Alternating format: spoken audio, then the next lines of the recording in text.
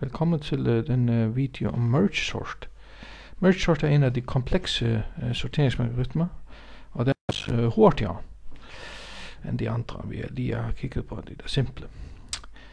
Uh, filosofien, eller taktikken, den er at uh, du har et eller andet array, en samling af usorterede elementer, og uh, så splitter du dem simpelthen op i to. Så i det her tilfælde har jag så ett et array som är splitt upp i två array. Jag har nu två array. Ett array här och ett array till. I princip kan jag fjärna det inte. Ska jag gula. Och så splittar jag igen allt fra så allt vänstra sida liksom som utgångspunkt. Så splittar vi det i två array. Nu har vi ett array här. Och vi har ett array här. Så igen vänstra sida.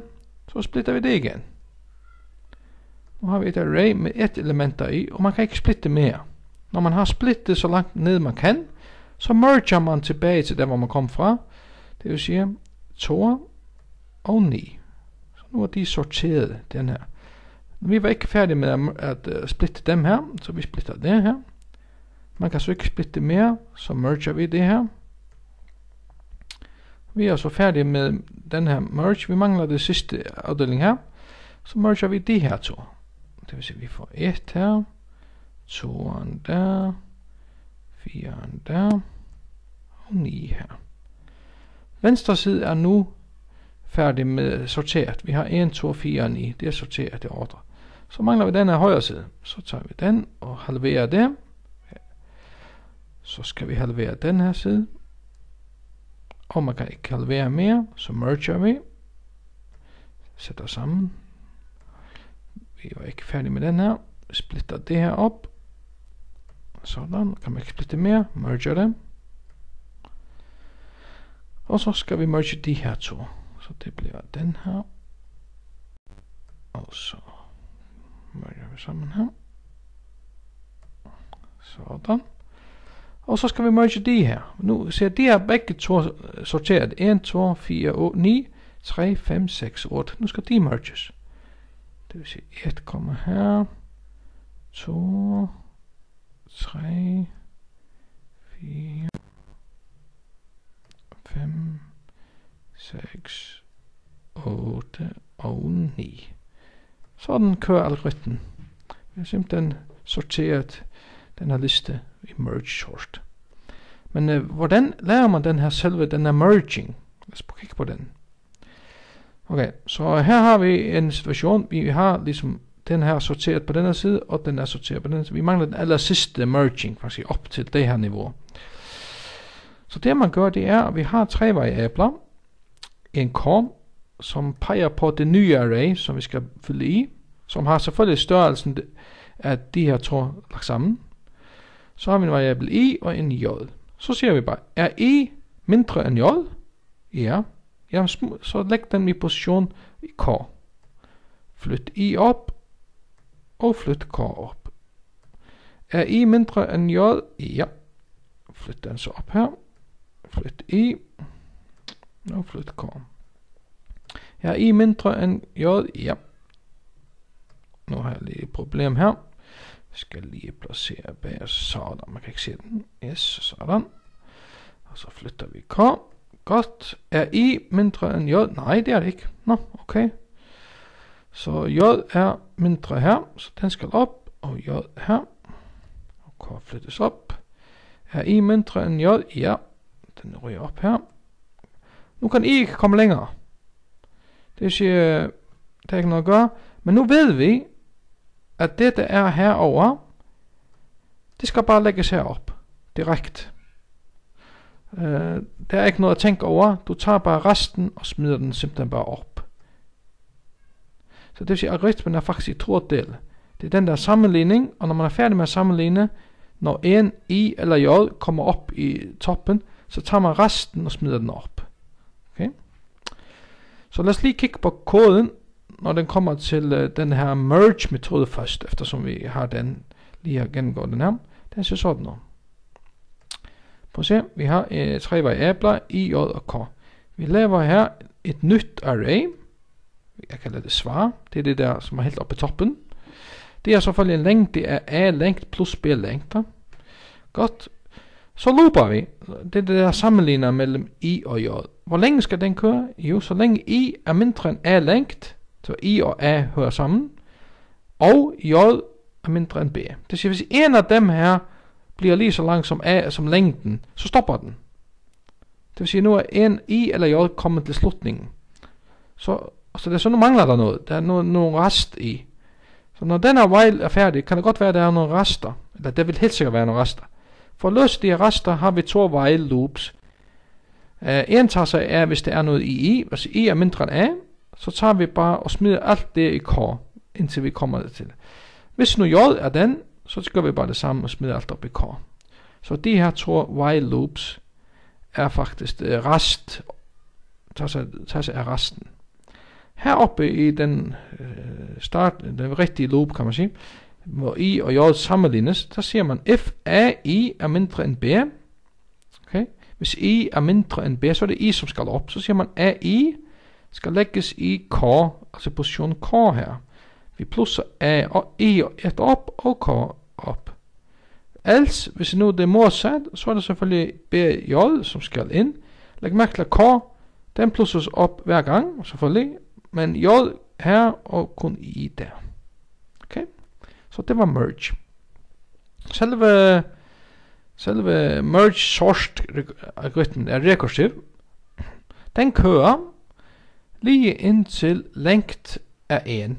Liksom når vi kommer helt ned i bunnen, man ikke kan splitte med.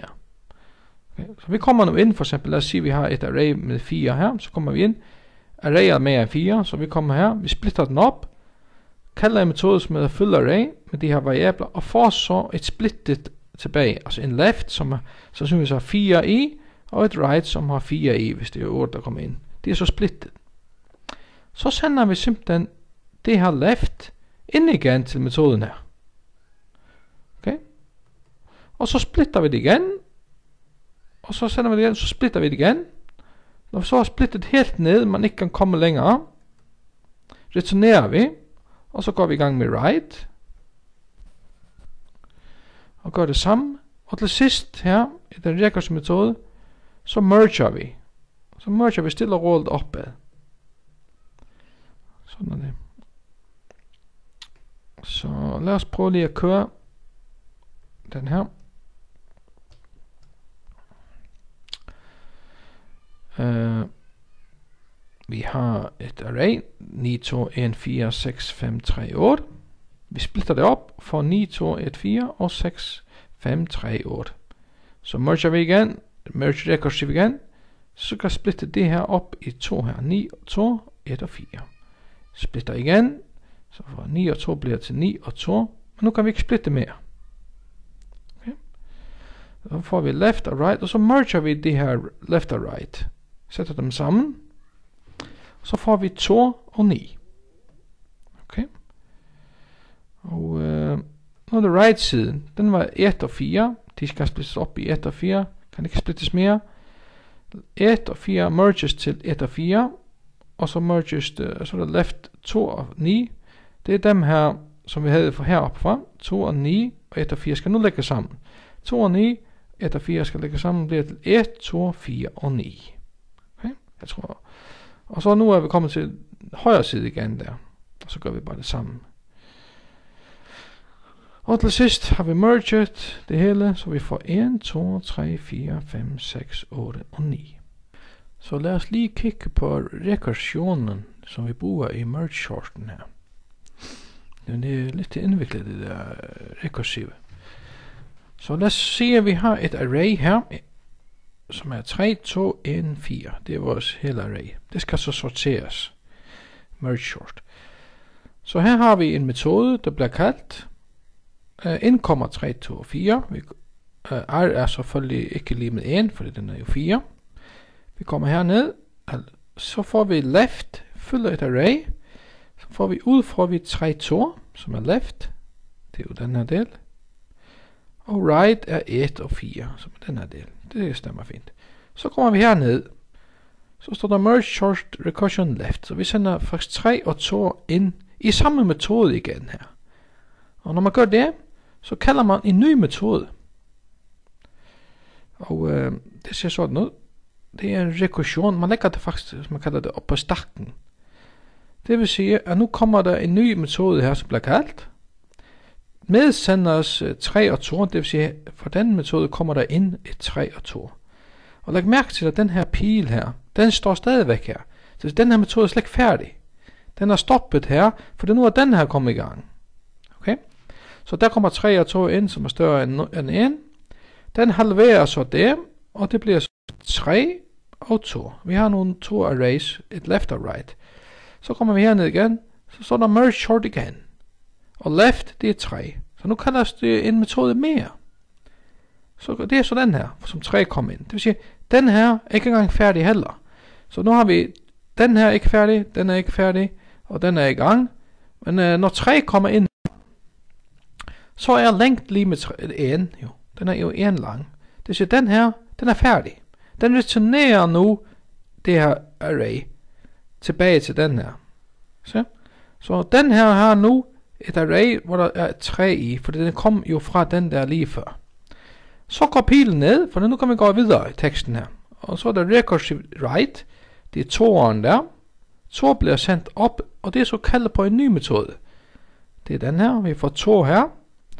Den er også kun en længt, og den går så tilbage og returnerer to. Så vi får to at stå her i write, når vi kører den der. Så er der to her. Så nu er vi færdige med det der merge, short left og right, og vi er kommet ned til merge her. Den vil så returnere, fordi der bliver sendt 3 med og 2 med. Den vil merge de her to og vil returnere et array, hvor der står 2 og 3 i. Okay? Den er nu færdig. Så den, kan, den her metode øh, returnerer simpelthen tilbage til den første her. Okay? Og her har vi så 2 og 3, som er gemt. Og den her kan nu gå i gang med write. Okay? Den har stået og ventet i lang tid her, og nu går den i gang med write. Og write, det er jo 1 og 4. Det bliver sendt write, og det er så et nyt metodekald. Vi får 1 og 4 komme ind her. Okay, 1, 4 er større end 1, så vi har en uh, left her, som er 1, der står her, og right, som er 4. Nu kan vi så kalde merge short på left, som er 1. Det er en ny metodekald. Den står her. Men uh, den er jo en lang, og den vil så returnere 1 og sætte den i left her. Fordi at uh, den returnerer det, som den, som den er. Right er 4. Vi kører en metode med 4. Returnerer så 4, så vi får right, der står som 4 her. Nu kan vi merge de her to, som vil give os 1 og 4, og returnere det tilbage til den, så nu står der 1 og 4 her. Endelig, at alle de her recursion kald færdige, og vi kan gå ned til at merge de her to, altså 2 og 3 og 1 og 4. Så læg med de er begge sorteret, altså 2 og 3, 1 og 4, begge sorteret. Den bliver altså merged her, og vi får 1, 2, 3 og 4. Og der er ikke mere at gøre. Metoden her kan nu returnere 1, 2 og 3 og 4. Den har modtaget et, et array, som hedder 3, 2, 1 og 4, og den svarer med et array 1, 2 og 3 og 4. Den har altså sorteret det her. Så det var merge short set med en stack og recursion. Tak skal du have.